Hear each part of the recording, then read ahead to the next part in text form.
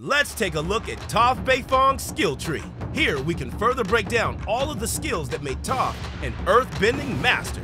To begin, we see Toph demonstrate the fundamental technique, a solid stance.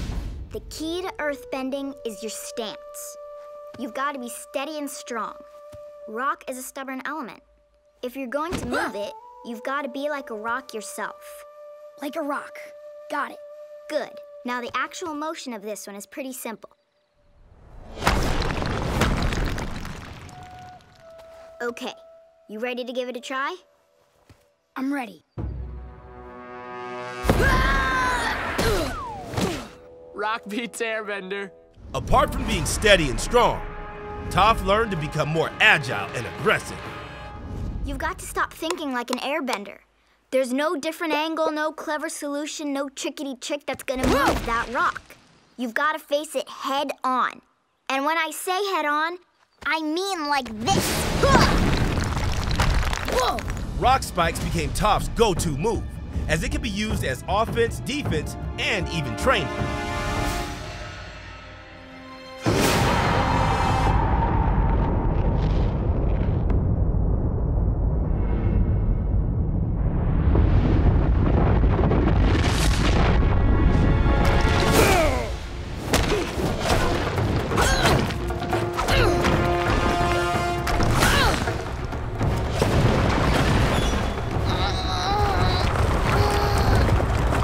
The best offense is a good defense.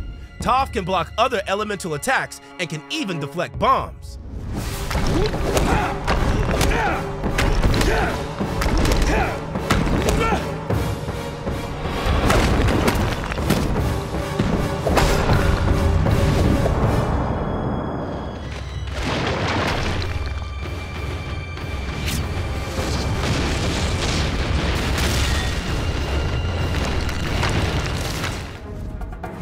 Speaking of defense, one of the sweetest skills Toph showed Aang was how to use earthbending to create a suit of armor.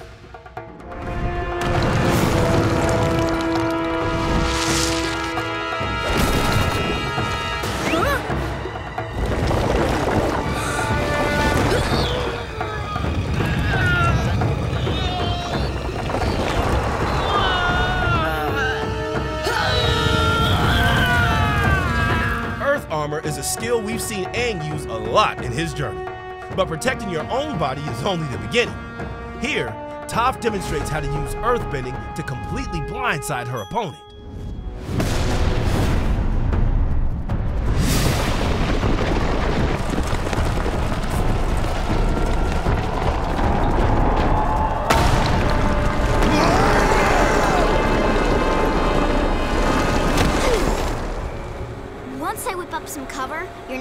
Able to see, so stay close to me.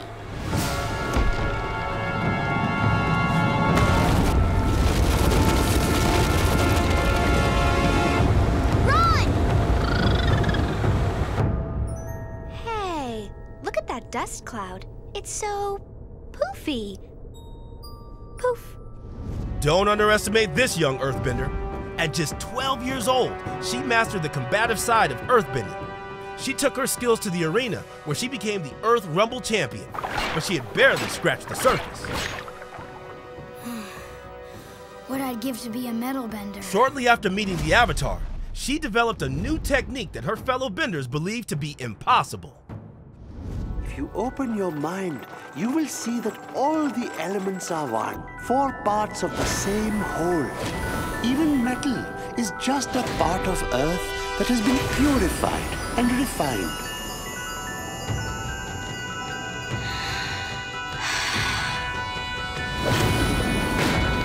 Come on, metal fudge.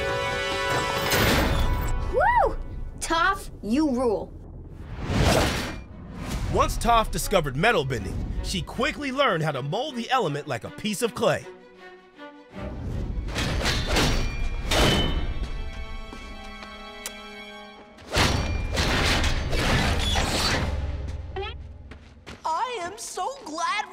you to the group? Toph, Metal bend the rudder so it's jammed in a turning position. The ship will spiral and slam into the others. Got it!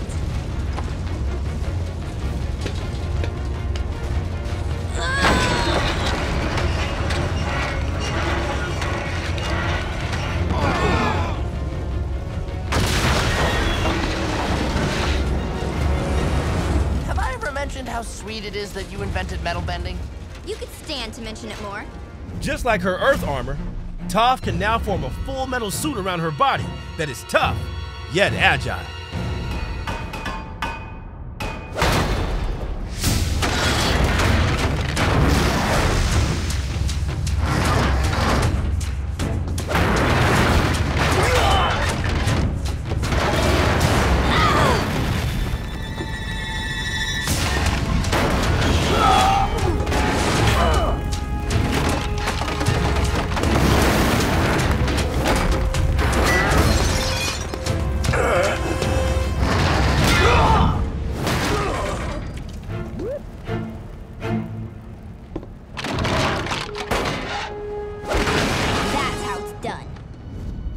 Forming the Republic City Police Force, Toph developed a new metal bending tool used to apprehend criminals. It's over. You're under arrest, Yakone.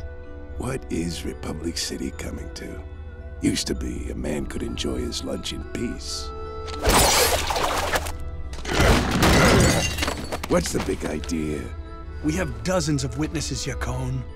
We know what you are. Take him away. Mastering metal bending was one of Toph's more historic milestones. The metal wires used by the Republic City Police became a staple tool on the force. Metal bending was also used as a utility to build entire cities like Zaofu. Speaking of utility, earthbending can be used for a lot more than combat. By interacting with the ground, Toph can not only shift where you stand, but can also bury herself like a badger mole. Wait.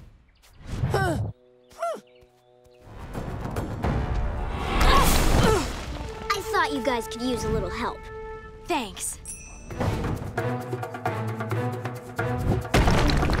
Rock glide!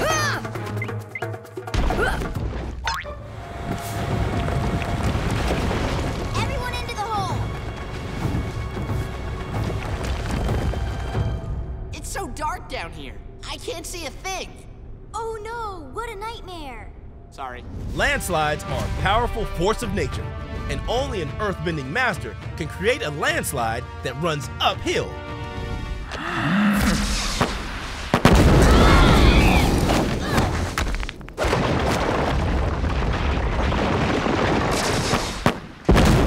Earthbending led to advancements in transportation, like the trains at Ba Sing Se. Here, Toph can manipulate the ground to help her skate across vast distances. I am the greatest earthbender in the world! Don't you two dunderheads ever forget it!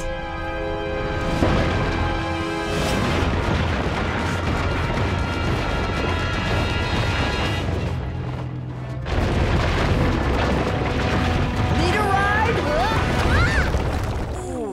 Toph can take transportation another step further by using her bending to reach all new heights.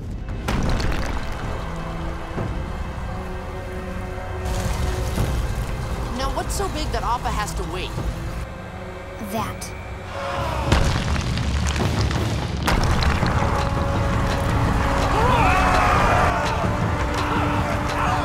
Seriously, we're actually on your guys' side. Sorry. Like the other elements, Earth has plenty of sub elements like mud, which can be bent for combat or just for fun.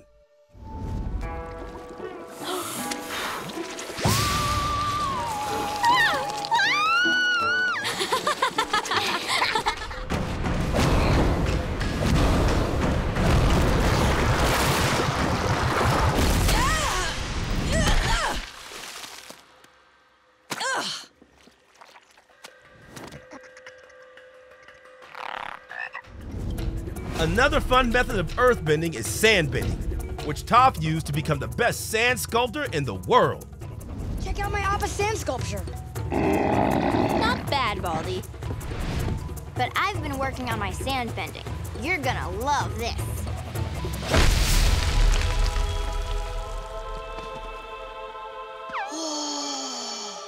Wow, you even made a little Earth King in Bosco.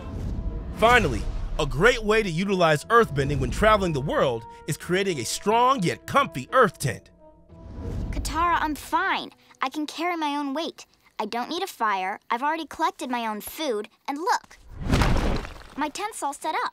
Aang, get some rags. Sokka, water. Toph, I need you to make an earth tent. A big one.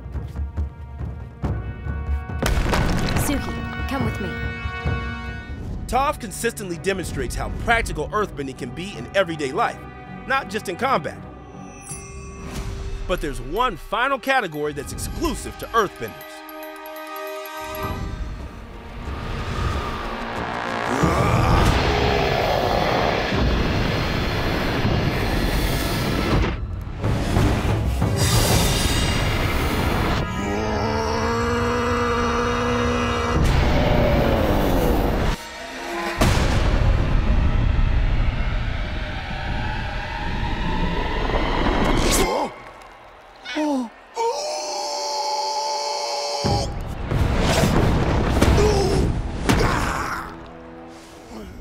Toph can use vibrations to feel a person's heartbeat and breathing. She can even identify a specific person based solely on their distinct heartbeat. Get away from us!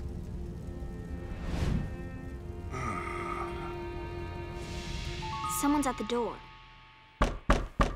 Actually, I know who it is. It's an old friend of mine. Glad to see you're okay. I need your help. To take vibrations one step further, she can feel what's underground using her seismic sense. There's something big, dense, and made of metal deep in the heart of the volcano. Sounds like a secret bunker to me. When combining vibrations in the ground with another person's heartbeat, Toph can easily notice inconsistencies with their breathing and heartbeats. In other words, Toph can tell when someone is lying or telling the truth. I was a troubled person and I let my anger get out of control. But I don't even have the gang now. I've put all that behind me. You're lying! He's not lying. How can you tell? I can feel his breathing and heartbeat. When people lie, there's a physical reaction. He's telling the truth. This isn't good. You guys go and find Appa. We'll take care of Jet. We're not gonna leave you. There's no time. Just go. We'll take care of him. He's our leader. Don't worry, Katara. I'll be fine.